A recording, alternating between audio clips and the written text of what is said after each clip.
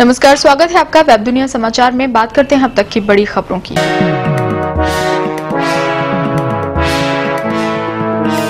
भारत ने दक्षिण अफ्रीका को हराकर तीन शून्य से फ्रीडम टेस्ट सीरीज़ जीती। विराट कोहली की अगुवाई वाली भारतीय टीम ने दक्षिण अफ्रीका के खिलाफ फ्रीडम टेस्ट सीरीज़ तीन शून्य से जीत ली। फिरोज शाह कोटला मैदान पर चौथे और अंतिम टेस्ट मैच में भारत ने मेहमान टीम को तीन सौ सैंतीस रनों से हराया। भारत ने दक्षिण अफ्रीका के सामने टेस्ट जीतने के लिए चार सौ इक्यासी रनों का विशाल लक्ष्य रखा था, लेकिन उसकी पूरी टीम एक रनों पर ही सिमट गई। भारत ने पहली पारी में तीन और दूसरी पारी में पाँच विकेट खोकर दो सौ सड़सठ रन बनाए थे, जबकि दक्षिण अफ्रीका पहली पारी में 121 और दूसरी पारी में 143 रन ही बना सकी। रविंद्र जडेजा को मैन ऑफ़ द मैच और आर अश्विन को मैन ऑफ़ द सीरीज़ घोषित किया गया।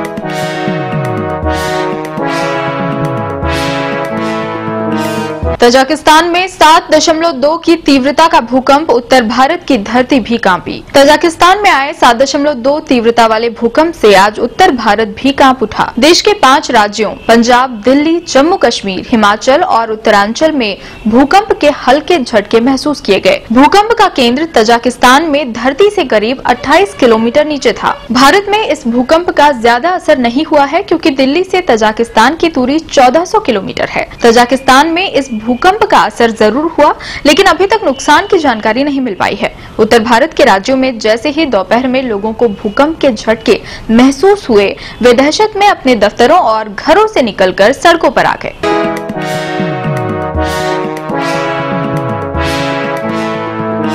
सोनिया गांधी और राहुल को दिल्ली हाईकोर्ट का झटका नेशनल हेरल्ड मामले में दिल्ली हाईकोर्ट ने कांग्रेस अध्यक्ष सोनिया गांधी और राहुल गांधी को पेशी में छूट देने से इनकार कर दिया है। सोनिया और राहुल ने निचली अदालत के पेश होने के आदेश को दिल्ली हाईकोर्ट में चुनौती दी थी। दिल्ली हाईकोर्ट ने कहा कि इस मामले में सोनिया और राहुल की व्यक्तिगत पेशी से छूट देने संबंधी याचिका में कोई दम नहीं है। इस मामले में अगली सुनवाई मंगलवार को दिल्ली की पटियाला हाउस कोर्ट में होगी।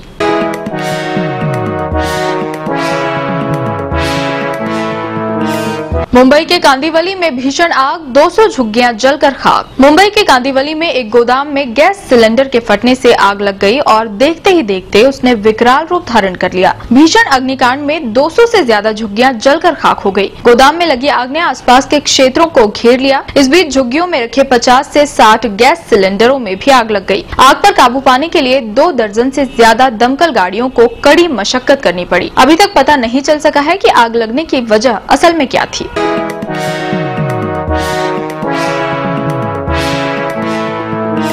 गठबंधन सेना ने सीरियाई सेना पर बरसाए गोले।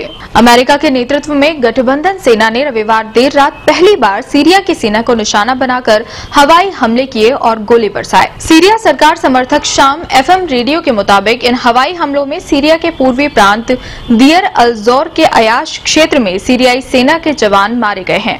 हालाँकि अभी मृतकों की सही संख्या पता नहीं चल सकी है। अमेरिका के नेतृत्व में गठबंधन सेना ने एक साल पहले सीरिया में आतंकवादी गिरोह इस्लामिक स्टेट आईएस के खिलाफ हवाई हमले शुरू किए थे।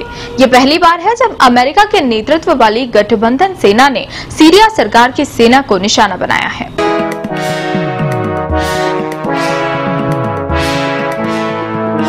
वेब दुनिया समाचार में फ़िलहाल इतना ही। लगातार खबरों और अन्य जानकारियों को जानने के लिए लॉग इन करें हमारी वेबसाइट www.webdunia.com पर।